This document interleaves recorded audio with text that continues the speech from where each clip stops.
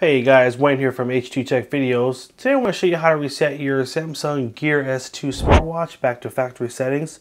To do this, we're going to just go ahead and um, hit the, the bottom button right here. Press it again to get to your apps. And we're going to swipe over until we get to the first page and click on the settings wheel. Now that we're in settings, we're going to go all the way down to Gear Info and then we're going to scroll down to reset gear. Tap on that. It's going to ask you, hey, reset gear. All downloaded apps and personal information will be erased. We're going to hit that little check to the right. And that's it. Uh, it says now it says performing factory reset.